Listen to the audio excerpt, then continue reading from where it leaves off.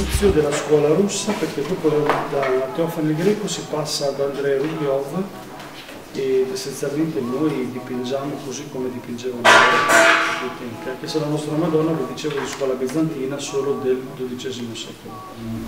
Anche per esempio se voi vedete dei film degli extraterrestri, non so, ad esempio E.T., Cocoon, e voi vi immaginate come la cinematografia si immagina un corpo, un corpo extraterrestre, se lo immagina per paradosso, guardate che fa luce una sorgente luminosa troppo intensa ci abbaglia, per cui noi vedremo un disco nero se guardiamo il Sole, con un'irradiazione tutta esterna che è la sua corona, per cui troviamo una, una macchia di luce nera con un'irradiazione eh, di, di, di, bianco sfacciato.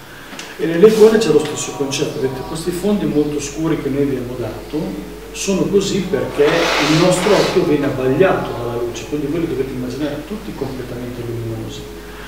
E in alcune zone questa luce è ancora maggiore perché sono tutti quei punti in cui lo scheletro, a causa dell'anatomia particolare di come è fatto, il punto in cui tocca di più la pelle e la tira, in trasparenza la luce esce. E vedete che sono sempre esattamente gli stessi punti. A pagina 291 vi ho fatto una, una, tabella con scritto dove sono i punti di massima radiazione e sono sempre, sempre quelli, cioè qualunque icona voi prendiate e sono sempre nello stesso posto, esattamente. Allora adesso le diciamo dall'alto in basso, allora, vedete qui in questo caso centro dei lobi frontali, qua, abbiamo anche un muscolo che si chiama procero, che determina tutta la gestione del naso.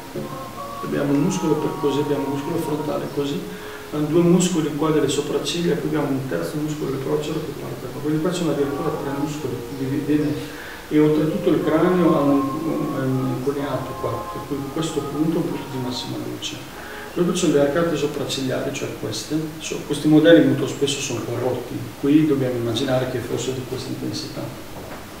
Poi dopo, soprattutto gli occhi, allora gli zigomi, la demarcazione interna della cavità orbitale, cioè questo punto. Il naso ha come un triangolo superiore sopra, vedete, la canna, lo sviluppo centrale e poi una cosiddetta oliva alla fine poi dopo la demarcazione della narice a questo punto anche. La bocca invece ha sempre la stessa zona, la zona sopra la labbra superiore, cioè qua, la linea di demarcazione fra le due labbra, e poi c'è il mento, le orecchie qui sotto, zona superiore del lobo, il collo, zona seguente l'ombreggiatura del volto, cioè questo punto qui, se va un po' più in giù clavicola esterna eh, non so se con la Madonna lo vedete, vedete là c'è questo punto di demarcazione, poi sotto il punto in cui la clavicola si attacca e se va ancora più in giù lo sterno, c'è questo punto. Tutte queste parole sono parole che sono state tradotte nel corso degli anni da maestre russe che venivano in Italia cercando di capire con il nostro vocabolario come si potevano tradurre alcuni termini russi. Alcuni non sono mai stati tradotti, per esempio l'assist, quelle linee d'oro come usiamo il termine russo attualmente per spiegare. Allora, loro sono sempre coppie, è molto importante che sono coppie, adesso ce n'è un, un primo tratto che si chiama dominante e c'è un secondo tratto che lo accompagna che si chiama relativo, questo è sempre più piccolo.